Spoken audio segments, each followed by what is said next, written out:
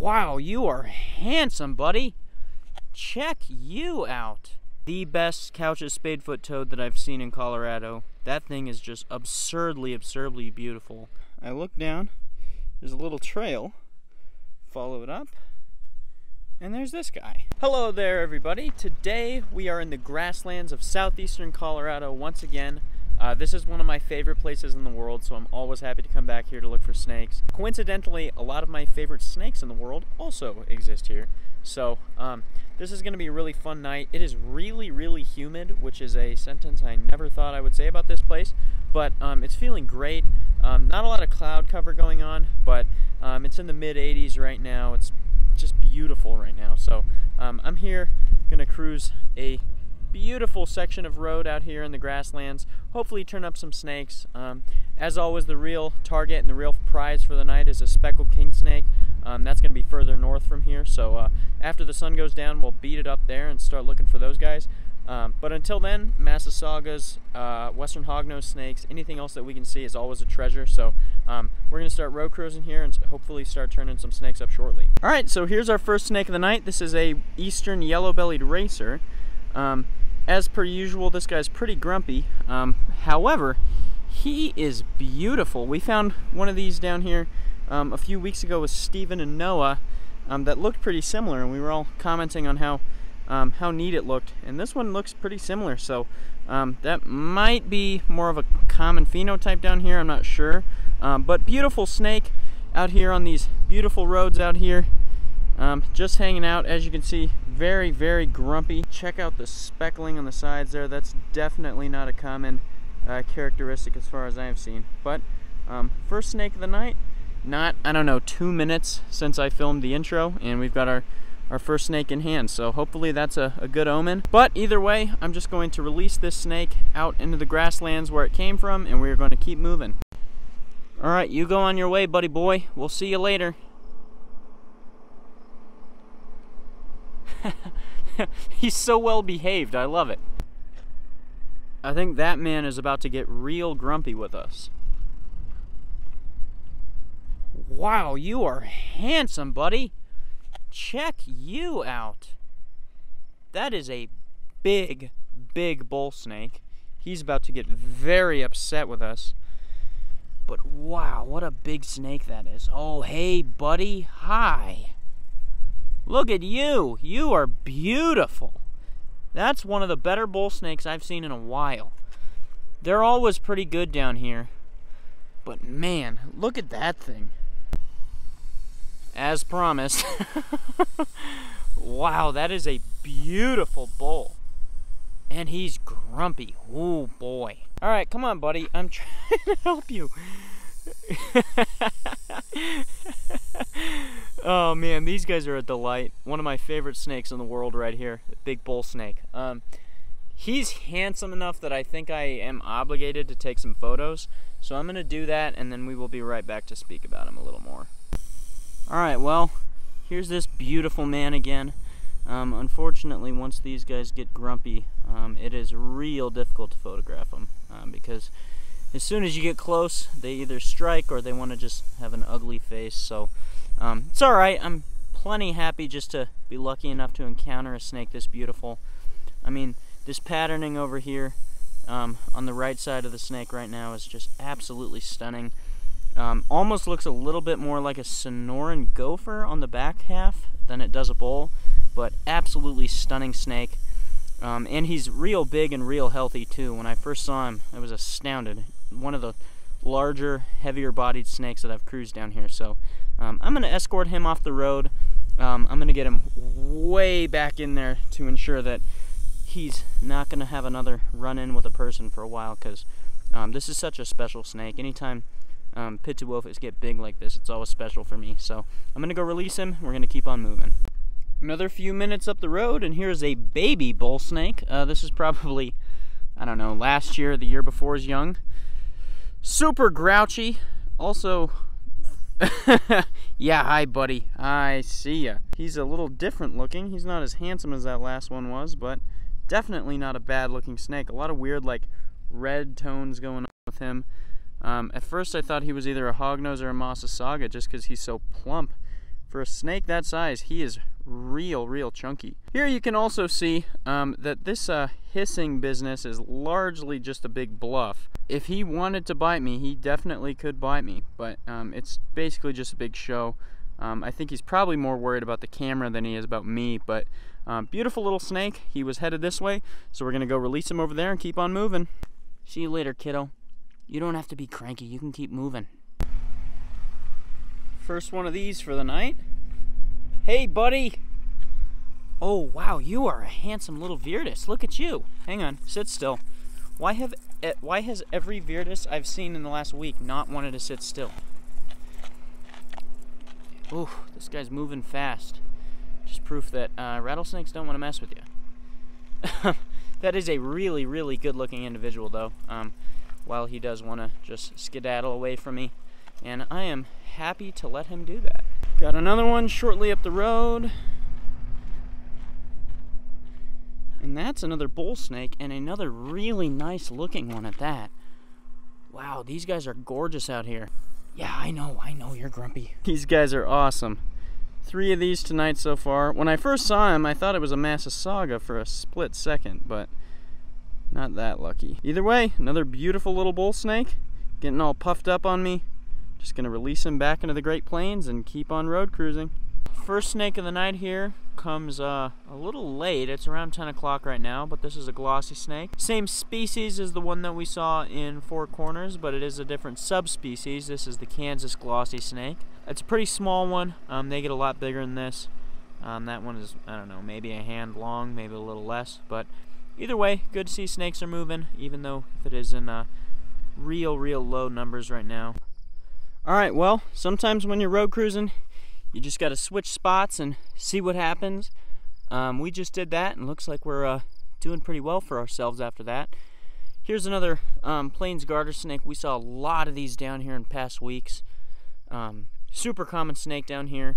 Um, this is actually a snake that I am helping out with a research project with, so the uh, the data the GPS data from this snake may end up in a paper. But either way, super, super common Colorado snake. There you can see him imitating the wind there.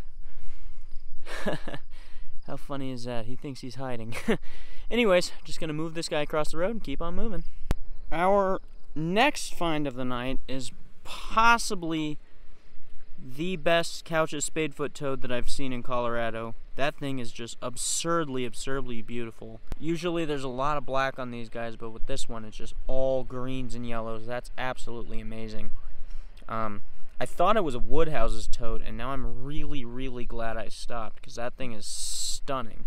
Um, as you can probably imagine, I'm going to take a little time to photograph this guy, and then we're going to release him and keep moving. Good morning from Baca County, Colorado. Um, it is going to be real hot today. It is currently 90 degrees on the nose, and we have to go hiking to look for narrowmouth toads. I love life listing because it sucks, but it's still fun, you know? Anyways, um, we are at our spot for the day. Um, we're going to move back up towards town later to road cruise, but um, I figured I would get out here and use my sabbatical from work to the best, um, and we're going to go try and find some toads. So, so without any further ado, I'm going to make my way way down into our canyon and we are going to start looking.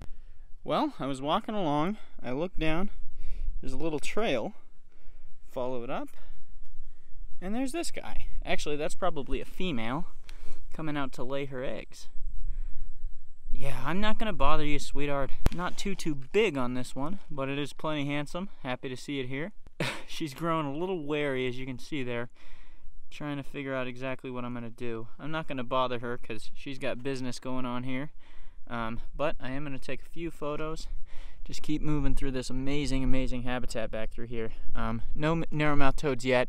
Um, honestly, the weather and the fact that there's been massive flash floods doesn't bode well for us, but we're going to keep trying. All right, well, um, the rest of the day was pretty slow. I mostly spent it uh, doing recon on some species that I want to look for a little further south in here. Then I went back to the hotel room, washed up, and now we were back out at our roads where we were last night. Um, the temps are dropping fast again. It's below 80. It was, you know, around 95 about an hour ago, so um, weather's not looking too, too promising, but we're going to be road cruising tonight. Same roads we were on yesterday, same targets and everything, so let's get this started. Is gonna be a prairie rattlesnake. Nothing unusual there. What's up, buddy? These guys are probably gonna be our most encountered snake of the trip. Right now we are at four, I think. I moved one off the road earlier uh, today that had been hit by a car. I didn't want to show that. He was still alive. He might make it, but I just didn't want to add stress to his life by, uh, you know, taking photos and whatnot. So I'm um, just going to move this guy off the road and keep on moving. All right, first snake of the night.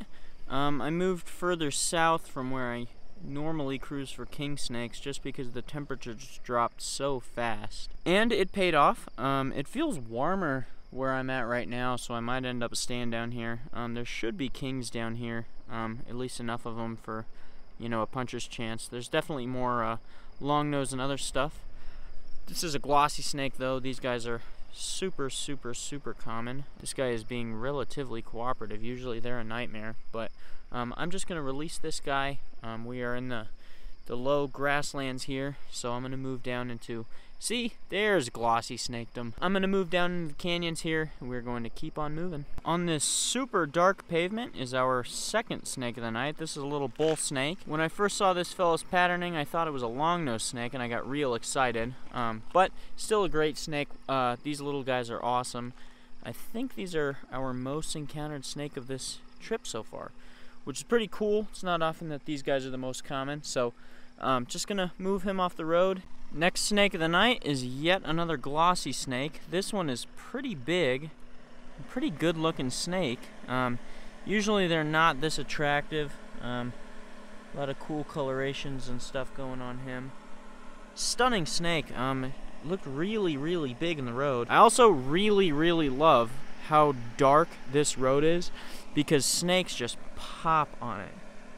It's absolutely wonderful. But Snakes are moving. I was starting to get a little worried when we were up top, but um, now it seems like they're moving. If in short numbers, at least they are moving, um, which is always a good thing to see. So um, I'm just going to let this big, handsome, I'm assuming it's a girl, move across the road and get out of here, and we will keep on moving and let her enjoy the rest of her night. This is going to be the third time I've said this tonight, but I think this may end up being our most commonly encountered snake of this trip.